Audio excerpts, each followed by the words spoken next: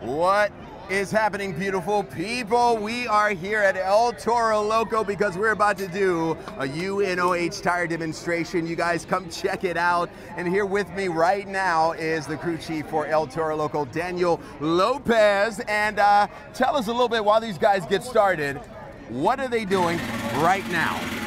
So what you're going to see is that they're going to take off the tire, and then there's peg lug nuts that hold the tire, and then once they get that all set, they're going to move the jack up and down, and move the tire side to side to take it right off. So tell me something, how difficult is this compared to like a real car? You know, a real car it's a lot easier because you can move it by hand. This one you got to use your whole body to push the whole tire out. You got to use everything that you can to push it out, and then putting it on is probably a lot worse than, putting it, than taking it all off.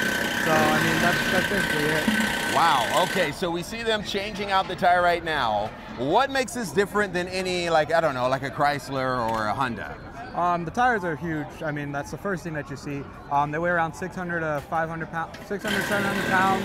Um, uh, and then they take around 23 PSI, which is a lot less than a regular car does. Wow, okay, so the tire pressure, you were telling me like the tire pressure isn't that much, really. It's, uh, how, many, how much pounds of pressure these things take? Uh, usually takes around like 22 to 25 PSI. Um, it helps because sometimes it helps as like a good rebound for the trucks too. It kind of absorbs the, the landing when, when they do it.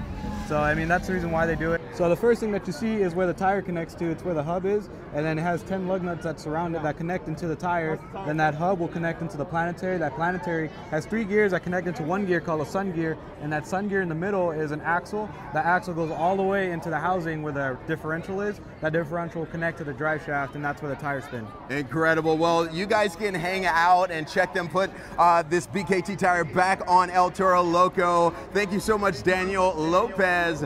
Uh, we'll be back here in just a second.